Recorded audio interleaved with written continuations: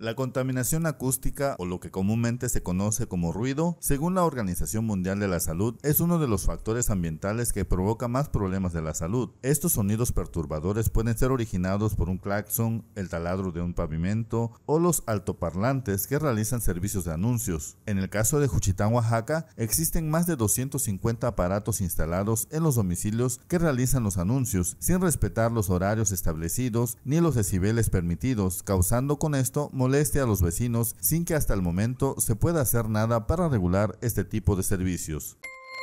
Hay un reglamento a nivel estatal, a nivel municipal, que la gente no respeta y que pues eh, nos preocupa, te digo, sobre todo por la cuestión de la de la audición, ¿no? Eh, muchas personas eh, se quejan. El ruido excesivo y constante, más allá de los lógicos efectos negativos sobre la audición, tinnitus o sordera, puede provocar otros problemas en la salud humana, especialmente entre los más jóvenes y los mayores. Entre los efectos nocivos están los episodios de estrés, fatiga, depresión, ansiedad o histeria, aunado a que impiden conciliar el sueño e impiden la capacidad de concentración, el bajo rendimiento, entre otros. Con imágenes de Andrés Viramontes, reportó para Mega Noticias José Luis López.